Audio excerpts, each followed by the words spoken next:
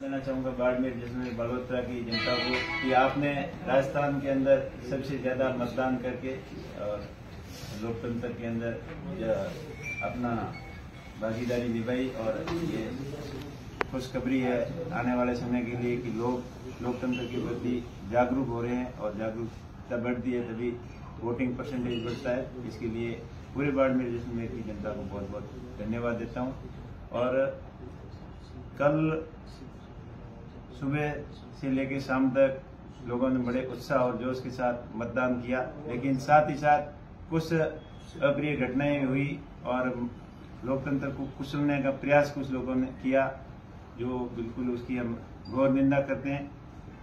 ज़बरदस्ती वोटिंग दिलवाना, वोटिंग एजेंटों को बूथ से बाहर निकालना, मारपीट करना, ऐसी बहुत बहुत ज़्यादा बूथों के ऊपर ऐसी घटनाएँ हुई। जो ऑन रिकॉर्ड तो बहुत कम आई है, लेकिन ऑफ़ रिकॉर्ड बहुत ज़्यादा जैसलमेर के, शिव के, चौटन के, बाड़मेर के, सिवाना के, ज़्यादातर बूथों के ऊपर ऐसी घटनाएँ हुई, जिसकी हम घोर निंदा करते हैं। और आज जो घटना करने वाले लोग ही सबसे ज़्यादा विरोध प्रदर्शन कर रहे हैं, प्रशासन के ऊपर आरोप भी लगा रहे हैं। और मैं तो उनको यही कहना चाहूँगा कि आप ही लोगों ने सबसे ज़्यादा माहौल खराब किया, सबसे ज़्यादा लोगों को उकसाया, भड़काया अपने फ़ायदे के लिए। मेरा तो शुरू से ही जब से चुनाव प्रक्रिया शुरू हुई, उस दिन से लेकर कल शाम तक हमेशा इस पीस के अंदर यही अपील करता था कि चुनाव के अंदर माहौल आप खराब नहीं करें, अपना थार का जो भाईचारा है, वो बना रहना चाहिए। हम सदियों से भाईचारे के नाम से जाने जाते हैं, एक दूसरे का पड़ोसी भाई से ज़्यादा काम आता है। वो हमारा स्पीच तो रोज था, लेकिन इन लोगों ने सामने वाले लोगों ने भड़काने का खूब प्रयास किया। कई बूथों के ऊपर घटनाएँ हुई। आपस में भी लड़े आमने सामने लड़े और कई जगह सर फूटे और बहुत बड़ी घटनाएँ हुई और रात को एक बहुत बड़ी घटना हुई जिसको जानलेवा हमले भी हुआ। उन सभी घटनाओं की हम निंदा करते हैं और जो आज लोग प्रदर्शन कर रहे थे, उनको हम तो पहले से ही अपील कर रहे थे, लेकिन अभी भी कुछ देर नहीं हुई है, चुनाव संपन्न हो गए हैं, सभी लोग भाई की तरह रहे। अब आपसी द्वेष, ईर्ष्या की भावना खत्म करते हुए आपसी भाईचारे के साथ रहे। ये आप लोगों के माध्यम से मैं अपील करूँगा और मतदान के प्रति जिस जैसे आप लोगों ने जागरूकता दिखाई, आगे आने वाले समय में ऐसे ही सजगता और जागरूकता दिखाकर मतदान ज़्यादा से ज़्यादा करें। उमेश जी, जिन लोगों के साथ आपके बूथ मारपीट हुई है या सब तो आप बिल्कुल कार्यकर्ताओं ने एफआईआर दर्ज कराई। कोई कई जगह पुलिस आईजी के सामने सीआई को पत्थर मार दिया। वो तो उन्होंने खुद ने देखी है घटना। कई जगह पुलिस खुद ही एफआईआर दर्ज करवाएगी। कई जगह कार्यकर्ताओं ने एफआईआर दर्ज करवाई है और हम उनसे अपील करेंगे कि आगे अपने क्षेत्र का भाईचारा कायम रखने के लिए उनके जो जिसने बदमाशी की है, उनके खिलाफ सख्त से सख्त कानून कार्रवाई हो और आगे के लिए माहौल खराब नहीं हो। इसके लिए मैं सभी जो अभ्यर्थी कैंडिडेट हैं, जिन्होंने चुनाव लड़ा है, उनको भी कहना चाहूँगा मीडिया के माध्यम से कि आप अपने लोगों को अपील करें कि कृपया शांति बनाए रखें, किसी राहगिरी को, रस्ते चलते व्यक्ति को पकड़कर दुर्भावना की भावना रखते हुए उनके साथ में गलत व्यवहार नहीं करें।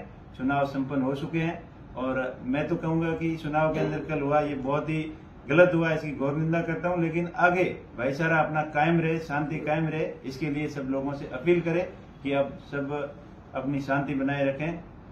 कुछ लोग सोशल मीडिया पर कर रहे हैं। किसी को धमकी दे रहे हैं। उनको क्या कहना चाहेंगे क्या अपील करना चाहेंगे जो सोशल मीडिया पर? किसको? कुछ लोग जो है नेताओं को उनको यही कहना चाहूँगा कि सनकी लोग हैं इस तरीके की जो उनकी गंभीरता से जाँच करें उनके पीछे क्या हाथ है और उनके खिलाफ सख्त से सख्त कार्रवाई करें। क्योंकि अगर नेता यहाँ सुरक्षित नहीं है तो जनता कैसे सुरक्षित होगी? तो उनके खिलाफ सख्त से सख्त कार्रवाई करें और जो दलितों के ऊपर अत्याचार हुए सबसे ज़्यादा, उनके खिलाफ भी कार्रवाई करें। और ये कल की घटना देखी जिसमें दलित वर्ग के लोग हैं, उनको बूथ एजेंट बैठे थे, उनको पकड़ पकड़ के बाहर ला ला के रोडों पर डाल के पीटा। आपने वीडियो भी देखे और कुछ बाहर से लोग ज़्यादा आए जो बाड़मेर, जैसलमेर बलोत्रा के वोटर नहीं थे। वो लोग हज़ारों की संख्या में बाहर से आकर यहाँ माहौल खराब करने की कोशिश की और प्रशासन ने भी सख्ताई दिखाई, लेकिन उतनी जितनी दिखानी थी, उतनी वो भी नहीं दिखा पाए क्योंकि फोर्स कम थी और उड़दंगी लोग ज़्यादा थे जो बीकानेर से आए चूरू से आए, सीकर से आए, जयपुर से आए और कई तो नामजद पकड़े भी गए। बैतू थाने के अंदर पंद्रह बीस लोग थे जो बाहर के थे, यहाँ आके माहौल खराब करने की कोशिश की। अकदड़ा के अंदर शांतिपूर्ण लोग बैठे थे, मतदान करके बाहर तो उसके ऊपर गाड़ी चढ़ाने का प्रयास किया और फिर आरोप भी उन पर लगाया कि मारपीट की। तो ऐसे असामाजिक तत्व यहाँ हावी न हो, इसके लिए पुलिस प्रशासन से मैं चाहूँगा कि वो सख्त से सख्त कार्रवाई करे और चुनाव आचार संहिता का जो उल्लंघन किया है, उनके खिलाफ भी सख्त कार्रवाई करे। निर्दलीय प्रत्याशी का आरोप है कि हमारे समर्थकों के साथ में मारपीट की गई। वहाँ पर जो बूथ के ऊपर जा रहे थे, अपने वर्क काम कर रहे थे, उस समय मारपीट हुई है। वो मारपीट खुद ही की उन, उनके निर्दलीय प्रत्याशी के कार्यकर्ताओं ने मारपीट की और उल्टा शोर कोतवाल को डांटे। ऐसी आ, उनके साथ ऐसे ही हुआ कि खुद ही गलती करे खुद ही आज प्रदर्शन करके कह रहे थे ये किया था। उड़दंग सबसे ज़्यादा निर्दलीय प्रत्याशी के कार्यकर्ताओं ने मचाया और वो भी बाहर से आए हुए लोग बाहर से आकर यहाँ के लोगों के आपसी भाईचारे को खत्म करने की कोशिश की। यहाँ तो लोग एक दूसरे को जानते हैं। अब वोट के लिए इतना लड़ाई झगड़ा नहीं करते, लेकिन बाहर से लोग आके उनको उकसाया गया ट्रेनिंग दी गई, और पहले से ये षड्यंत्र रचा गया। षड्यंत्र के तहत ये ऐसा काम हुआ है। मैं सभी से अपील करता हूँ कि अपना क्षेत्र का भाईचारा कायम रखने के लिए आगे ऐसी घटनाएँ नहीं हो, और जो किया है, उनको, उनके खिलाफ सख्त से सख्त कार्रवाई हो। दलितों द्वारा उनके साथ मारपीट की हॉस्पिटल भर्ती है। उनके द्वारा कोई मुकदमा दर्ज करवाया? मुकदमे दर्ज हुए हैं, काफ़ी ज़्यादा मुकदमे हुए हैं। सबसे ज़्यादा मुकदमे बाड़मेर जैसलमेर, बालोतरा, संसदीय क्षेत्र में सबसे ज़्यादा चुनाव आयोग कंप्लेन भी यहाँ से हुई, मुकदमे भी यहीं से हुए और सबसे ज़्यादा जो आतंक फैलाया, वो निर्दलीय प्रत्याशी के द्वारा फैलाया गया और जो अपना भाईचारा सदियों से बना आ रहा था तो इन्होंने ये नया उनके अंदर जहर उगलने का काम किया और भाईचारा खत्म करने का प्रयास जो किया है, पर मैं अपील करता हूँ बाड़मेर जैसलमेर बालोतरा की जनता से कि आप सभी सदियों से भाई की तरह रहें, आगे भी भाई की तरह रहें। कोई लोग अपना निजी फ़ायदा उठाने के लिए आपकी भावनाओं के साथ में खिलवाड़ करता है, भावनाओं को भड़काने की कोशिश करता है, उनको करारा जवाब दें। और जनता ने कल जवाब दे दिया उन सबको।